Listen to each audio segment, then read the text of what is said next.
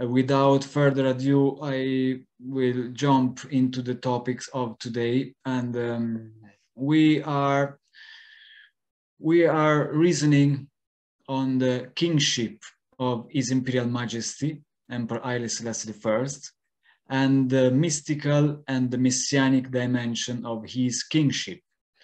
So, why are we talking about kingship? Obviously, the first uh, the first answer that comes to us is that His Imperial Majesty is a king.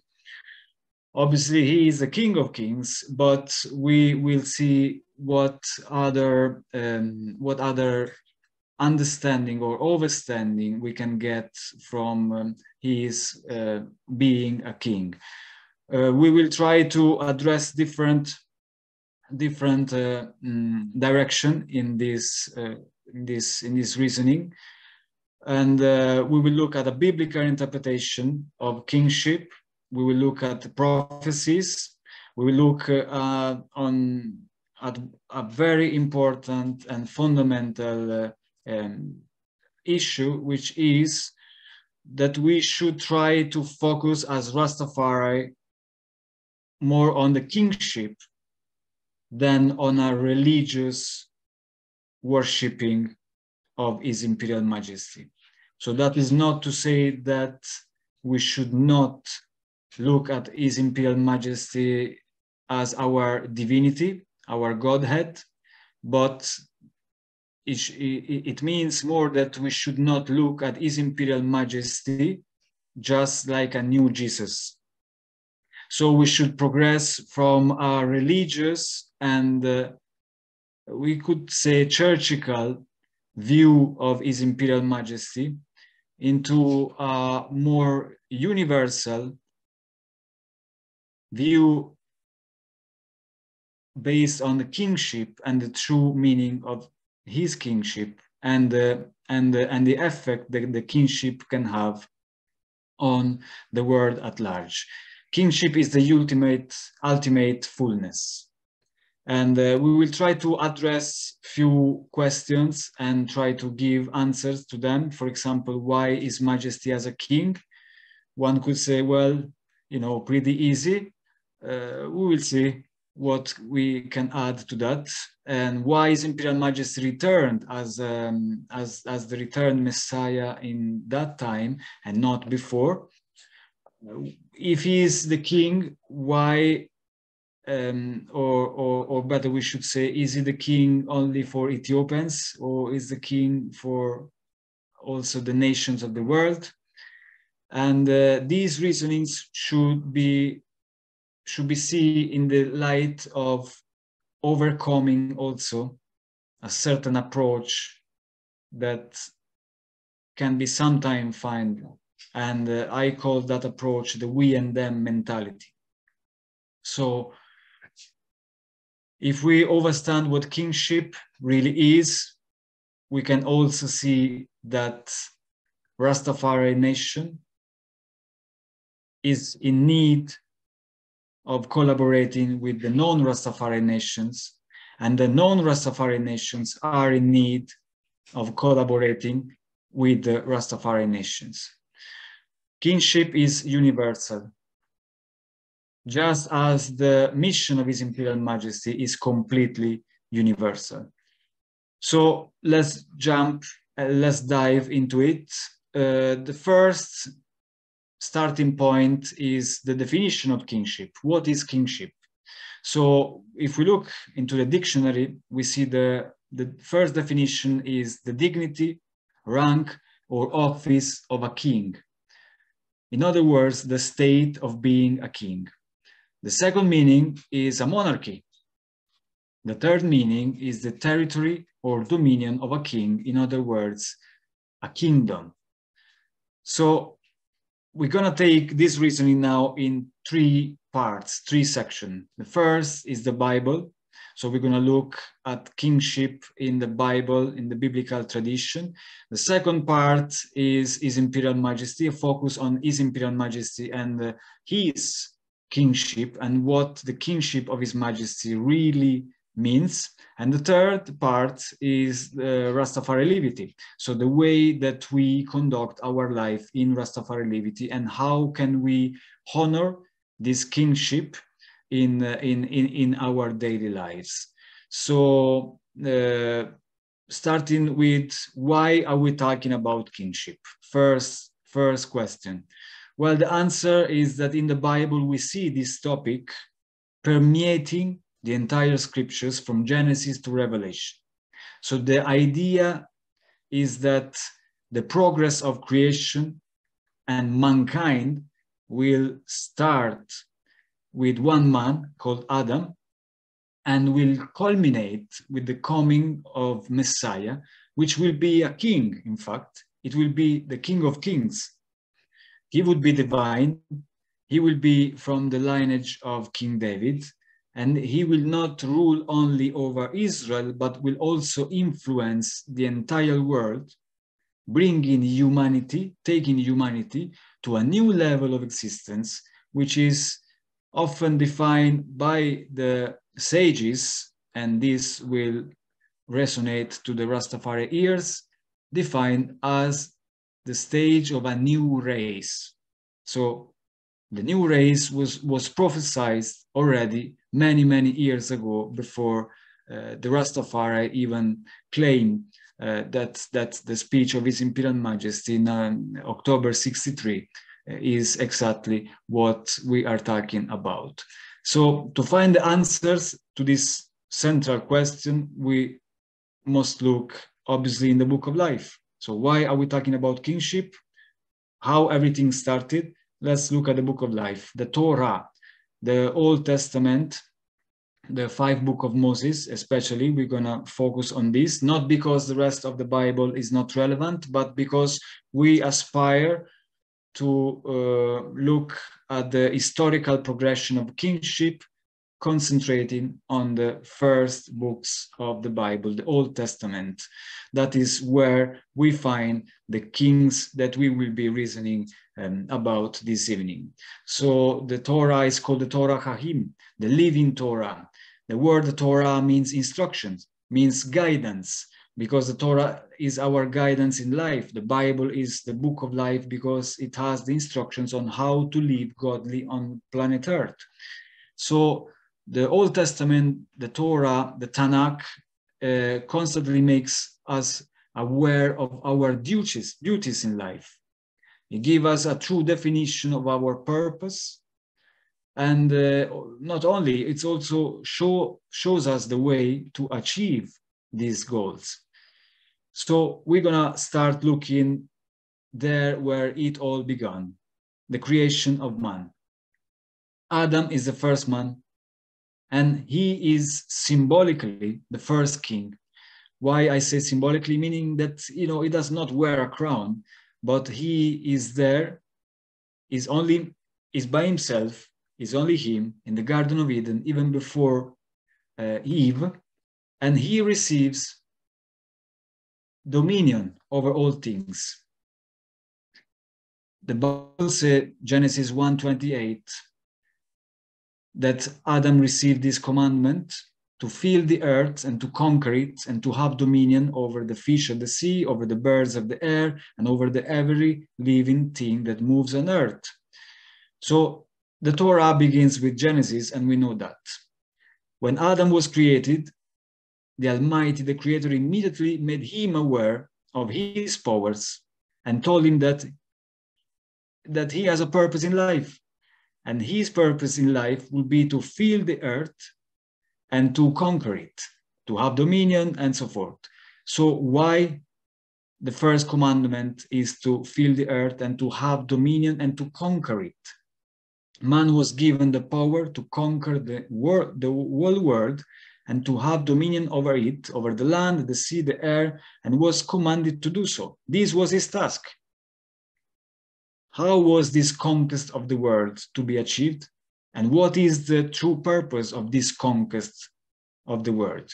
Because even if we if we if we look at it, this is the first thing that non-biblical people will address immediately. And they will say, well, it's just arrogant that man should have the power to conquer the world. I mean, what is about all of this? The true meaning of the conquest of the world entrusted to man as a life task and mission is not to aggressively take advantage of the earth.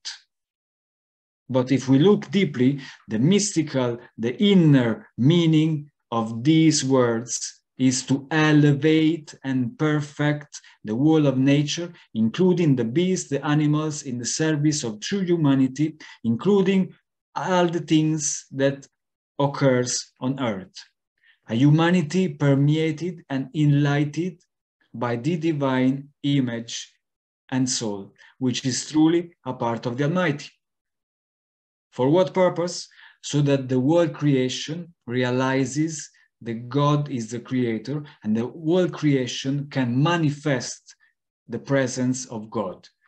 So here we see immediately what then will become the Rastafari motto, Zion on earth, heaven on earth. So let's look at something very, very fascinating. One of the main distinguishing features of man's creation is that man was created as a single being, unlike the other species that were, they were created in large, large numbers, you know, the fishes of the sea, the animals, and, you know, the grass, the trees, and so forth. So man is the only one that is created by himself, alone. Why is that?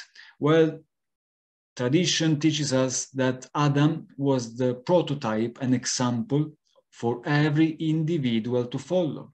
And that is why man was created single, to teach us that one person is equivalent to a world world, to the entire world. This is what we call in Rastafari the macrocosm in the microcosm, which is a concept that we also find anyway in um, uh, orthodoxy, Orthodox Christian tradition. This means that every human being, regardless of time, place, and personal status, has the highest capacity and also the duty to rise and achieve the highest degree of realization and to realize the same for creation as a whole. So Adam is a prefiguration of a king, but is not yet a king, but he already contains this mission that then we will see realized in the ultimate king, which is obviously Messiah. So which is this mission to elevate and to perfect the entire creation and the entire um, human society. So Adam is not a king, technically. I mean, he doesn't wear a crown. So looking now at the various kings in the Bible, we cannot analyze them all because we know that there are many. But we will focus our reasoning on very few specific kings that are relevant to I and I subject of this evening. Okay, so first question, when does the first king appear in the Bible? We need to wait 13 generations after creation. That means three generations after Noah.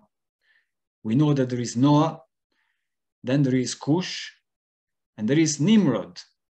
Nimrod is the first king. So the first king that we meet in the Bible, in the Old Testament, in the Torah, is a guy by the name of Nimrod. Nimrod is king of a number of cities including um, including one which will become very important and uh, its name will become you know very diffuse and popular. This town is called babel. Babel is the hebrew name for babylon. Babel um, means gates of god. Yeah? So nimrod was the king of babylon we know exactly what takes place in Babel, which is a major event of Old Testament. And obviously we are referring to the building of the tower, the famous Tower of Babylon. So Nimrod was in charge of building the Tower of Babylon. The next important king that we have in the Bible, and we're gonna try to go quite speedily because we don't have we don't have all night to reason about it. The next important king that we have in the Bible, and it also begins its name with letter N, which is important, is Nabucodonosor. Nabucodonosor is the king of Babylonian, is the king of Babylon, and he is obviously famous for a numbers of reasons, but one of these, mainly the most important uh, reason for, for, for why he is famous is that he destroys the first temple built by Solomon, destroyed by King Nabucodonosor. So there is a third king now in the history, and it also he, he also begins with the letter N, and we're talking about Nero, Nero Roman. He destroys the second temple. He was in fact the Roman emperor that was in charge during the battle against um, Israel of that time, Palestine of that time, and uh, he is responsible for destroying the second temple. So Nero Caesar is referred by tradition as being as being is addressed we could say that he is addressed with a code with a number which is made of three numbers. And this is the th three times six he is a prefiguration of the anti-Messiah, and uh, he will come back, not he himself, but you know his job of being an obstacle, uh, being an enemy of Messiah, will be reproduced in the fullness of time by the anti-Messiah, the final anti-Messiah, that will fight the true Messiah himself. And obviously is not a coincidence that Nero Roman was the, the emperor of the Roman Empire, because we know that the Antichrist, the final anti-Messiah, will be the new head of the uh, new so-called Roman Empire.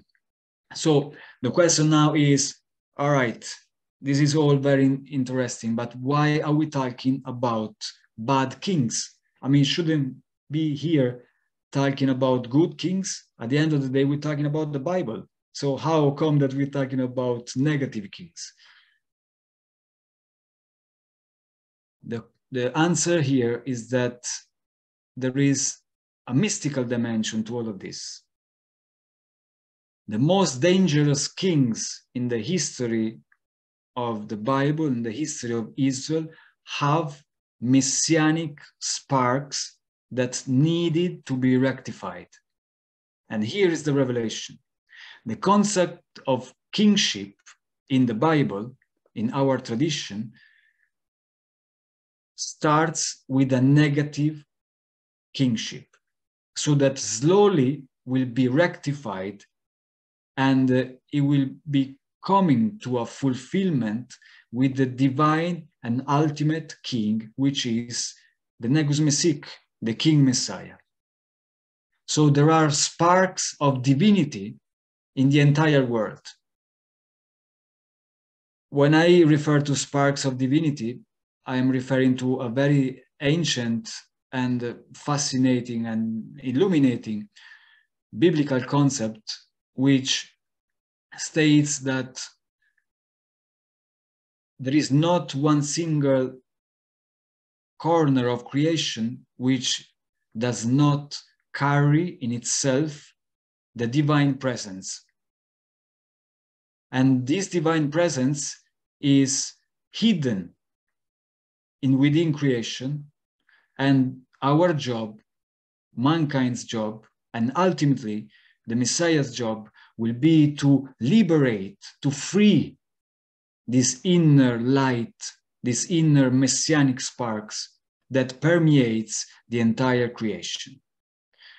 In other words, the messianic presence is really to be found everywhere, in every aspect, especially, and this is the paradox, especially in the negative aspects of life. That is why kingship starts to be presented to the reader of the Bible in a negative way. Another element which proves what are we saying, Nabucodonosor is the only king in the Bible which is called the King of Kings. There is no other king in the Bible that takes on himself this title. We also know, interesting fact, when Saddam Hussein uh, became very strong in his time, he also, he also decided to do something quite interesting, which was to, um, to do a series of works you know, in his country, around his city and palace, in order to bring back to the old splendor the Babylonian Empire. And he called himself the King of Kings because he wanted to be seen as the new Nebuchadnezzar. This is to confirm what we're saying right here. So even the title King of Kings, it get presented to I and I in a negative light, right? So this is uh, this is just a, a, a, a preview of what will come after. And there will be the time in which the, the true and the real King of Kings will arrive and will rectify also this name, and with this name, the entire kingship. So when we look at Nebuchadnezzar, you know, yes, he was guilty of many things, but there was something in there, something in him which was very, very, very peculiar. First thing, we see that he had an advisor for himself, which was not exactly an ordinary man. Daniel was his advisor. Daniel does something quite extraordinary at that time, something that was not even allowed for the Jewish population of that time. He advises a non Jew on doing something in order to redeem his person and save his destiny in front of God. What is that? Daniel advises, we will remember that, um, Nebuchadnezzar to give charity uh, in order to save his life, in order to save his destiny by, from, from, from, from the curse.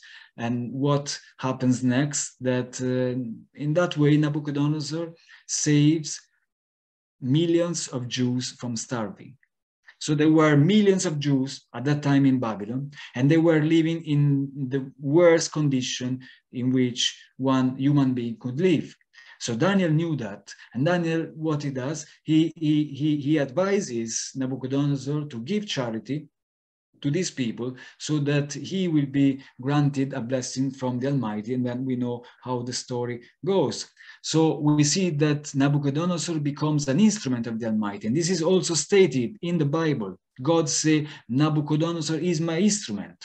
So we, we, we see in something quite interesting here. He is also worthy of having a miracle under his own eyes, which is, of course, the miracle of the three men in the furnace, which come out completely unhurted by the fire. The point here that we are trying to make is that every king in the Bible is an instrument of the Almighty, and in every bad king, there is a spark of, we could say, messianic kingship that will be then rectified in the final king. So kingship became, became with Nimrod, which is the king of darkness. His name in Hebrew means rebellion. He is the first uh, is the first negative rebel. Why? Because he rebels against God. So this is also very interesting because according to the mystical knowledge of the Bible, and here we're talking about Kabbalah as well, Hasidut, the, the, the, Bible, the biblical literature, darkness has more potential to greatness than light. Why? Because darkness must be transformed. So in kingship, we see the inner secrets of the entire Bible and the messianic project that God has for mankind. In one word, transformation. All bad kings are related to Messiah. They have a job. Their job is to assist the coming of Messiah. So the first people of the world is the people that built Babylon, the Babel Tower. So Babylon was the first kingdom of the world, and consequently, the ultimate kingdom will be rectified and governed and ruled by the ultimate Messiah. I don't know if we are seeing here the, the, the, the, the, the paradox, but the, similar, the similarity as well. The messianic, the messianic history and the Bible itself is made of paradoxes. In fact, there cannot be Bible, they cannot be paradox, they cannot be, sorry, they cannot be Bible, they cannot be Messiah, they cannot be Rastafari without paradoxes. When the opposites meet exactly there on their crux of the meeting point, that is where the messianic spark is revealed. Let's keep all these things in mind because we're going to need them throughout the journey. Let's see now who is the most positive king in the Bible? Who is the most famous good king in the Bible? Of course, we're talking about King David. Now, we cannot speak about kingship in the Bible if we do not talk about King David. We will not address the ordinary knowledge about King David, the superficial reading that we can get from the Bible because everybody knows the story, but we will look at the mystical aspect of it. So now, one important thing. Who studies Bible, especially Bible mysticism, knows that the entire scriptures, especially the Torah, the Old Testament, is built on orders. What are the orders? Are a group of three elements. They are recurring trinities that we find in the stories of the Bible. And on these trinities, the entire script, scripture, we should say the entire structure of the scriptures is built. The first order is Abraham, Isaac, and Jacob, for example. There is another order, which is Moses, Seth, and Abel. These are foundational structures on what the Bible and its meaning is built.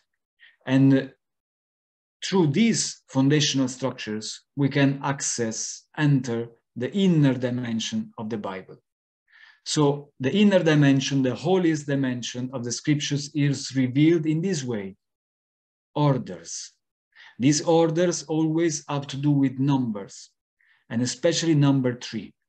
So the orders this group, these trinities, they always come in number three. Just like every process has three stages. You know, it begins with the beginning, then there is the middle, then there is the end. In the same way, every, inter, every intellectual speculation is based on the principles of thesis, antithesis, and synthesis. So the order that is important to I and I reasoning this evening is the order of Adam. In Hebrew, his name is ADM, which also stand for the three names that this order consists of. A stands for Adam, D stands for David, and M stands for Messiah. So these three figures are exactly in equal spaces within the old biblical time, Old Testament, and the entire Bible. Well, Adam is at the beginning, David is in the middle, and Messiah is in the fullness of time. Adam is the first supernatural king who, like we said, received the commandment of conquering the earth and received dominion over all things. Then we have David. Who is David? He is the middle of, of the ages. He's exactly in the middle of biblical history and the divine plan and project that the Almighty has for mankind. He is the one that establishes the true divine kingship on earth. And then we have Messiah, which is the final, the ultimate, the definitive Adam, which has the job of completing this process of rectification and elevation of creation and mankind at large. Another important thing is that this order of these three characters, Adam, David, and uh, Messiah, have affinity with the earth, the earth, the soil, because their focus is to bring down heaven on earth. And the, they manifest and elevate creation to its own perfection and reconnecting it to God is the ultimate mission. So this order is connected with earth. This order of these three characters, these three elements, is also connected with the first verse of the Genesis. In the beginning, God created heaven and earth. So this is the order which is connected to earth. There is another order which is connected to heaven, which is the order of Moses, Abel, and Seth, which obviously we cannot address right now, but they are connected with heaven. So it's like it's like the first verse of Genesis, which we also addressed during our last minute meeting, and where we reason about God created heaven and earth and His imperial majesty in those uh, few um, initial lines of the book of Genesis. Uh, in these lines, it is presented to I and I. We could say, who will take care of earth and who will take care of heaven? So the order of Adam, David, and Messiah, they are in charge of bringing godliness on earth. The order of Moses, we say, is connected to heaven, um, but our order represent the kingship. So let's step now in the second part of the reasoning, and uh, I'm trying to make it not too long. Prophecies about His Imperial Majesty and His kingship. So let's look at the prophecies and what's, what the tradition says about the time and the coming of Messiah. So after the things that we have been saying so far, we should uh, have even a better understanding on of how these prophecies, prophecies should be relevant to His Imperial Majesty. In other words, we can understand better, maybe now, the relevance of, the, of these prophecies, knowing that what we have been saying so far concerning the kingship is entirely relevant to the figure of His Imperial Majesty. One fundamental uh, passage we find in Torah, in the Old Testament, in especially and specifically in the book of um, Deuteronomy, when the people of Israel demands a king. So there are many, many prophecies which we could address, and um, we're not going to do that. There's only one quotation from the Bible which I want to address. You know, I selected only this one, not because the other ones are not important, but for time, we cannot look at all of them. But there is this specific verse which gets all, almost hidden in within the whole story, but that we learn from tradition that contains a tremendous meaning. So the people of Israel demands a king. So this is the first time the idea of a king of Israel is presented to us. The exact verse in the original Bible says, place, you should place upon yourself a king. Place, you should place upon yourself a king. So we know that every word in the Bible is not for granted and is not meaningless. Every word, even every um, point is important in the Bible. Even the spaces of, between the words is important. Why repeating the word place twice.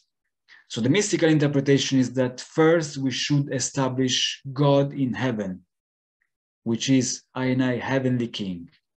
And only then we can place here a king on earth. So the repetition of the word place is, is, is a duality. So why, what is the meaning of this duality? That the kingdom of, of earth, the kingdom of God on earth must be totally and completely permeated by the heavenly kingdom. So the ultimate and messianic king of kings will be the one that will reveal this heavenly dimension of earth. So the divine heavenly kingdom will be one with the earthly kingdom, so to bring enlightenment to the entire world. The Messiah will be the king that will bring a new set of guidelines by which humanity will enter a new stage of existence. And he will utilize every aspect of earthly existence, including uh, politics, economy, uh, warfare as well, because that will be the only way to rectify every aspect of mankind's life and to elevate. Remember the word elevate, elevate that we were using when we were talking about Adam being given the commandment of conquer the earth, and conquer the earth means elevate, conquer that hidden light which is present in every aspect of human life, but that needs to be liberated. So we see here that if we do not understand this fundamental biblical concept, we cannot grasp to the maximum the depth of the mission of his imperial majesty and why did he had to do all the things that he has done during his life. If we fail to accept and penetrate this concept of kingship and the tremendous power that carries with it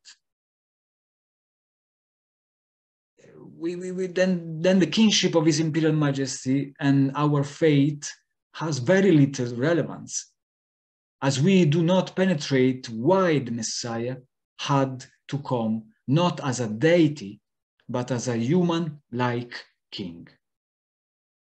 So, before the coming of Messiah, there were many, many prophecies. Yeah. And the reason why we can identify this messianic king is because we have hundreds of years, I should say thousands of years of prophecies Right. So let's look at a few of them, which will be relevant for I and I. According to prophecies, before the coming of Messiah, there had to be a new world order, a new world order. In other words, things were no longer the same as before. So there was supposed to be a tremendous, a universal uh, change of what was the life on earth before Messiah and what would become after Messiah. This is a period of transition that occurs so that Messiah can come and show the world a new way of living, a new way of existing, by which mankind could ensure ensure uh, not only its safety on earth, but also its, its, its, its, its happiness and well-being. So first thing is a new world order. And obviously, I mean, everybody that knows history can relate to that when reading Uh, about His Imperial Majesty, when he was born, and what was the context that witnessed the birth of His Imperial Majesty in a few words, a world in transition. No longer an, a, a, a, a world of the past, but a world on the edge of future, present going towards a future. Nothing, nothing would have stayed the same. let's continue. Uh, the first sign of the coming of Messiah is the lack of leadership around the world. The world will not be accustomed to obey and there will be shortage of true leaders.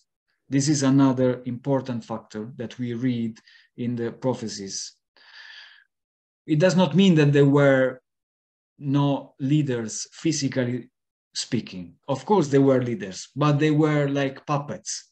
It was hard to look around and to see genuine leaders, true leaders that you could put your faith in. So this is another sign that um, announce the coming of Messiah.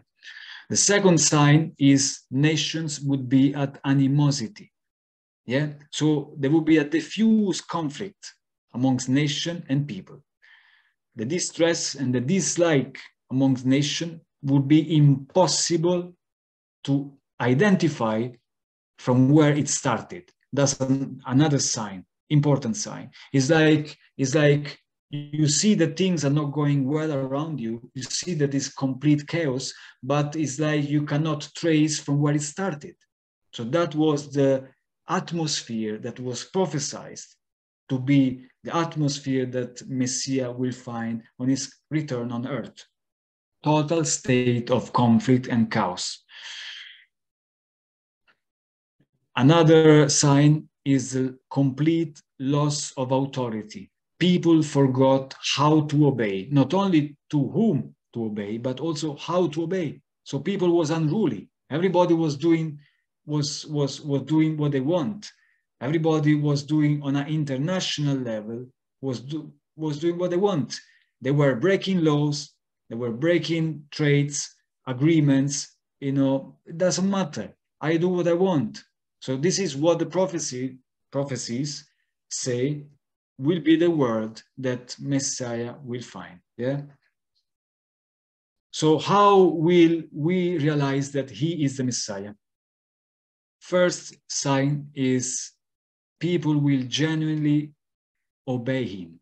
There will be something strange, so supernatural with Messiah. The people will be inclined in a genuine way, in a natural way to obey him, because he will inspire that trust. He will inspire that feeling that he knows exactly what is right to do. So this is the kingship of the Messiah and the effect that will have on the people in a world of chaos, right? The role of the Messiah is to uh, re-establish the house of David and not to do any miracles. That is also very important. Yeah. So according to tradition, Messiah in his return will not perform any miracles. Yeah. In fact, in fact, there will be also people demanding for miracles, but there will there will not be any open air miracles. No miracles under the eyes of the world. We're not saying that there will not be any other miracles or any private miracles. And I mean, we know that the life of His Imperial Majesty is also filled with supernatural events. But what we're saying here is that Messiah will not show his kingship through miracles, but throughout the work. Miracles will be like being a magician.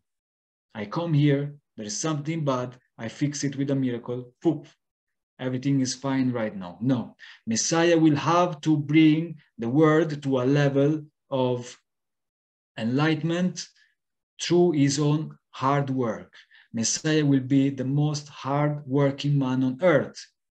And uh, it's very fascinating and curious that uh, ancient uh, prophecies, they go down in details to such an extent that they say that the King Messiah will sleep very little and will devote the most of his time during his day to work and to um, teaching the people because another role of Messiah, another job, we should say, not a role, but another job of Messiah alongside being the king is to be a teacher.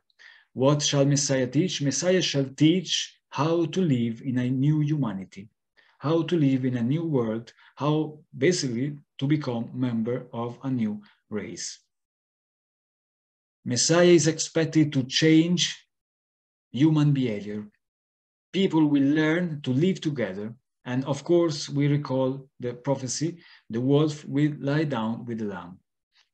The role of Messiah is uh, to let everybody see that his kingdom is not his, but of the Father.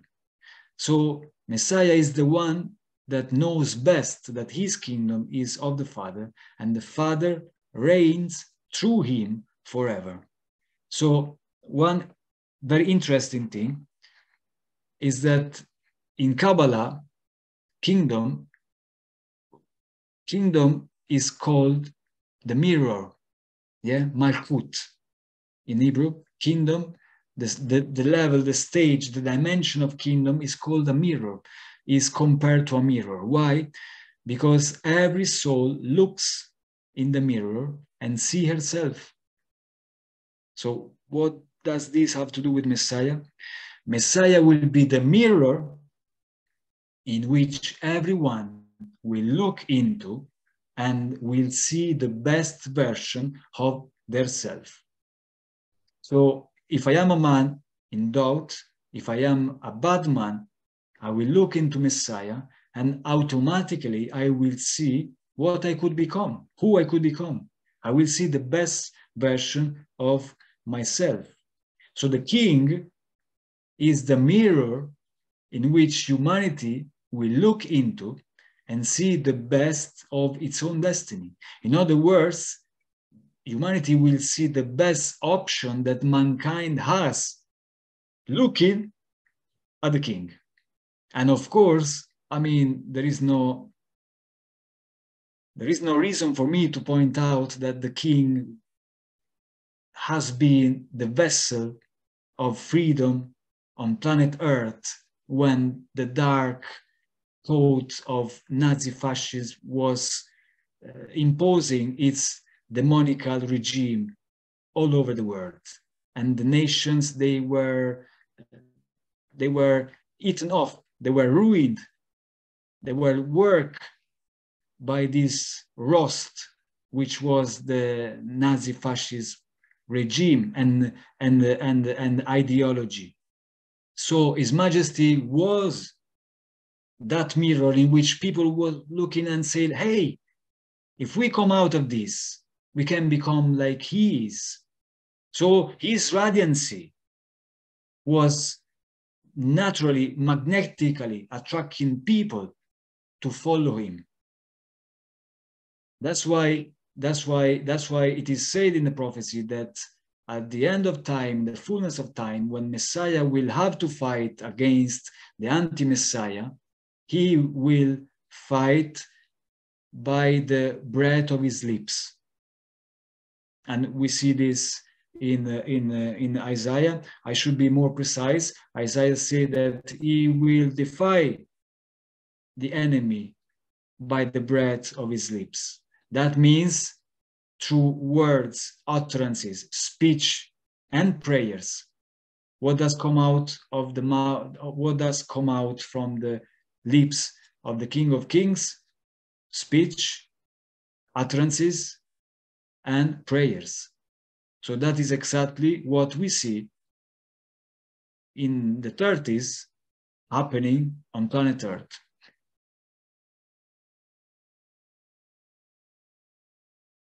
So one of the final questions that is left to answer tonight, and then I will, you know, leave it to brother Nati, is why His Imperial Majesty came at a time. I mean, let's just be honest. Why did we have to wait 2,000 years for Christ to return? I mean, he could, he could have come back much earlier. He could have come back just a few years after his first appearance here on planet Earth. No, we had to wait 2,000 years. And so somebody could say, oh, because you know there was a lack of religious people, pious people. Well, that's not true. You know, maybe there were more pious people back then than in the time in which His Imperial Majesty was born and ruled over Earth. So somebody could say, oh, well, you know, there was more godliness back then. Well, yes, exactly. And so why didn't Messiah arrive, returned when there was more godliness, when people was living a more simple life, when people was more devoted to those principles and to you know to those values which make uh, human life dignified why because he arrived in the time in which there was more the need of a righteous leader in hebrew Leader means speakers. So when we say the word leader, we also mean the word speaker. They have the same word, two concepts with the same word. So Messiah will speak non-political and he will be non-politically correct. He will speak the truth and he will swim against the current. He will think out of the box. That is another characteristic of Messiah that we learn from tradition and from the prophecies. So, why does His Imperial Majesty arrive when he arrives? Why not before? Because only in those years he could have implement his full mission to the maximum because in those years there was really the need not of a messiah up in the sky but of a true concrete solid tangible figure which would be the leader for mankind because mankind was in complete chaos. So everybody that come with something reasonable they would follow him. But but they would not uh, they would they would not be content only with a religious figure. In other words in those days in those in that time a god coming down from sky would not be making any difference the religious values the spiritual values they were in crisis the same way that is when His Imperial Majesty could have act in the best manner. And that is when his work could have shown the best of the results. To explain it in another way, maybe in a simpler way.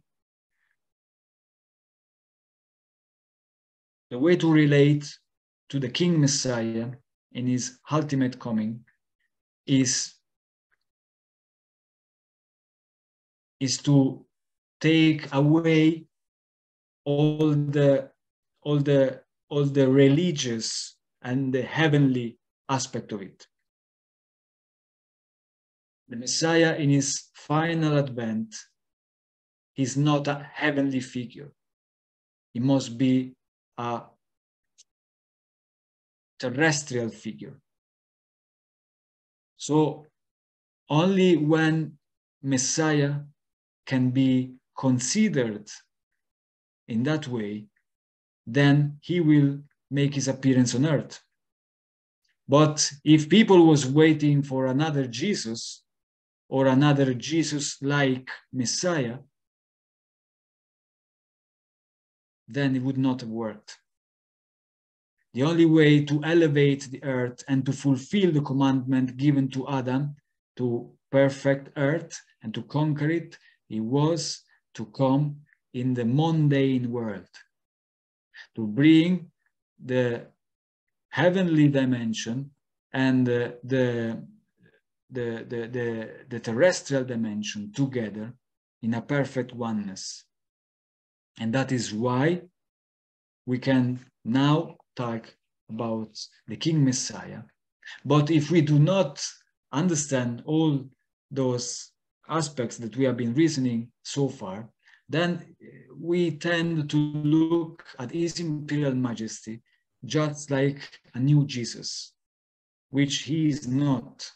Yes, of course, He is Christ in His kingly character. Yes, of course, we hail Jesus Christus. Yes, of course, we believe in Jesus Christ. Yes, of course, we are also Christian. Yes, of course, we are also Orthodox. And don't get me wrong, I have nothing that the best to speak about the Orthodox faith and the Orthodox tradition. My two daughters are both baptized in the Tewahedo Ethiopian Orthodox Church, but I and I is Rastafari. We are a different breed. And until we keep looking at His Imperial Majesty in the same way we look at Jesus, but just with a new name and a different name, we not get into the fullness of it.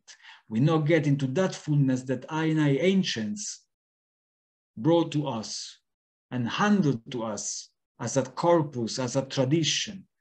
And maybe they did not even study all these sources that to which we have access nowadays, but they saw it, they cite all of that in a vision, in a spiritual inspiration. So now we have the power to combine the things, the ancient culture, the ancient knowledge, and the figure of His Imperial Majesty. So INI is the generation that is bringing the things together, is bridging these two sides of the story.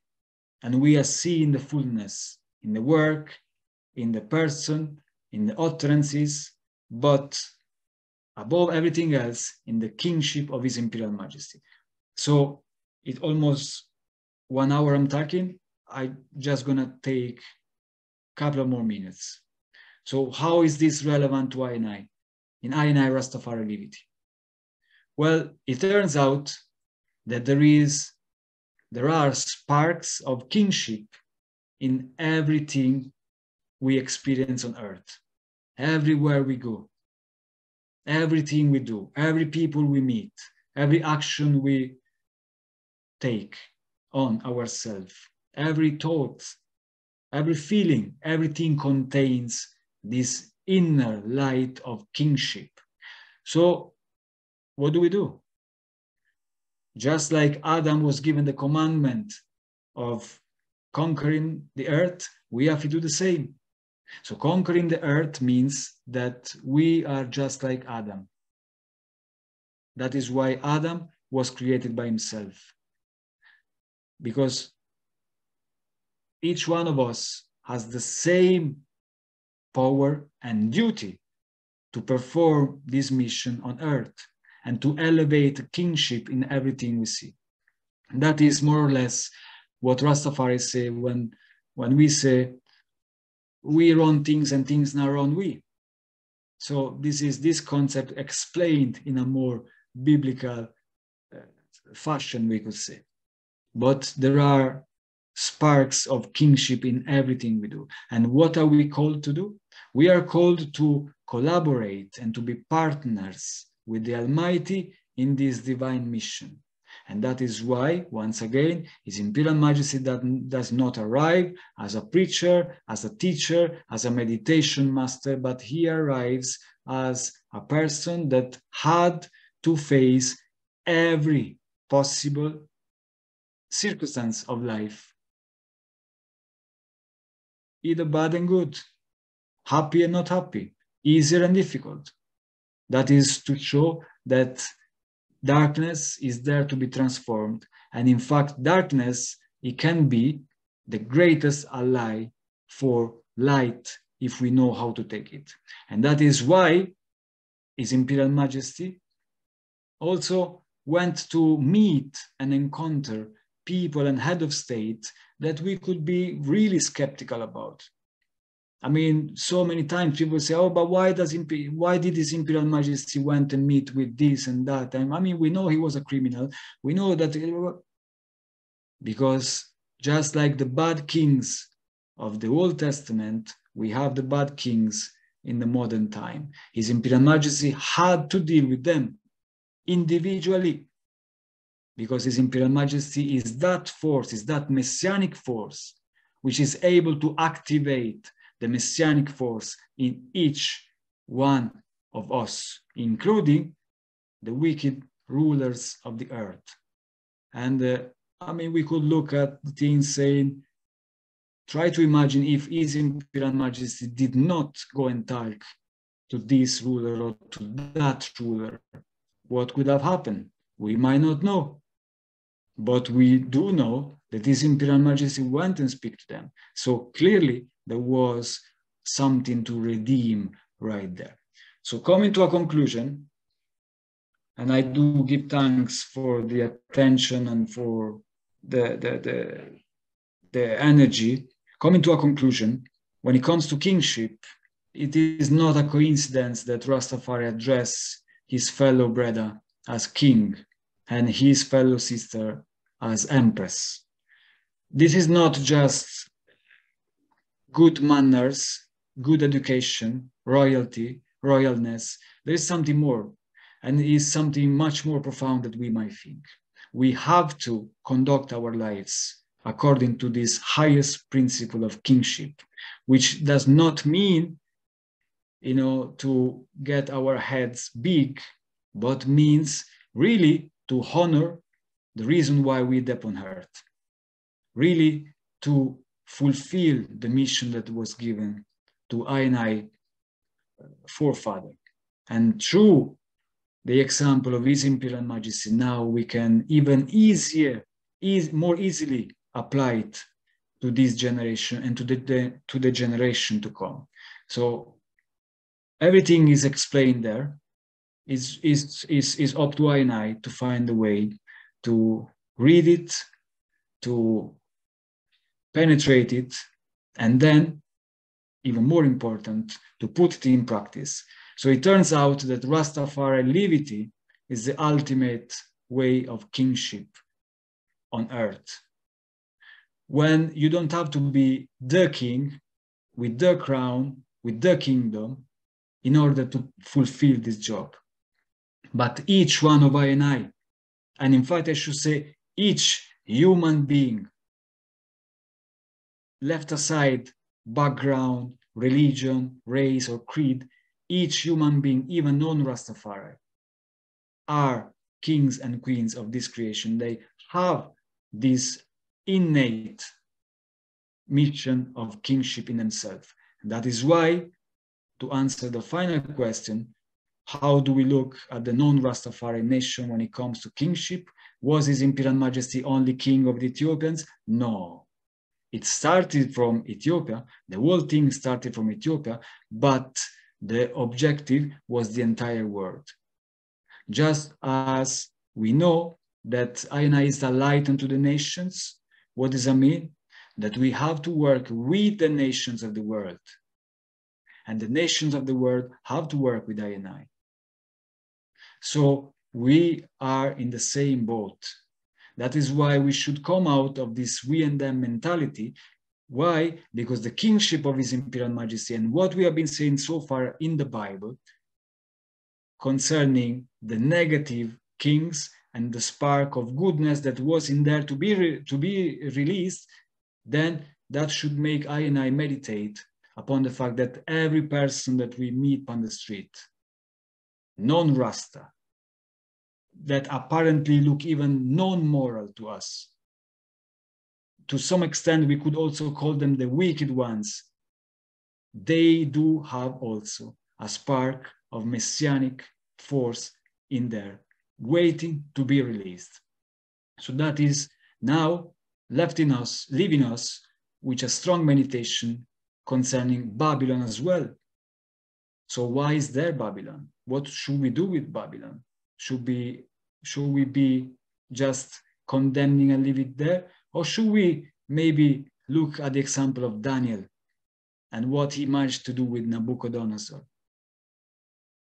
So these are all things I and I, Rastafari people and the world at large should consider in order to fulfill the ultimate mission that I and I Father, God and King, Emperor Haile Selassie I, show through his powers, through his mercy, and through his tremendous light in order for I and I to follow and fulfill.